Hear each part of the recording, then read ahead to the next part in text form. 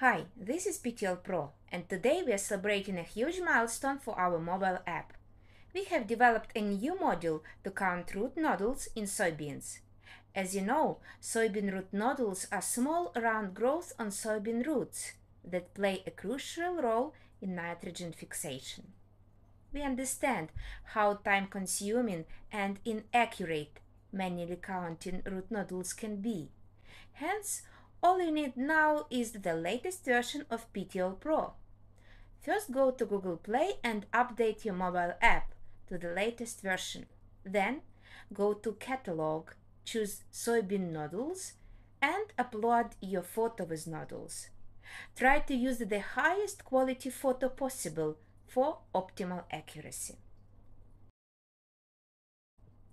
After uploading the photo, you will see Petiole Pro in action the photo will be first divided into segments.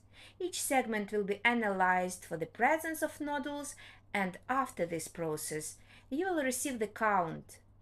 We believe this model will revolutionize the way plant scientists work with soybeans, aiding in breeding and research of this critically important crop for carbon sequestration and nitrogen fixation.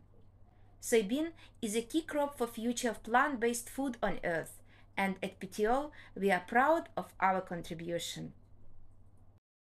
Finally, you can go to the results to find your soybean root nodules count and revisit the photo and count as needed.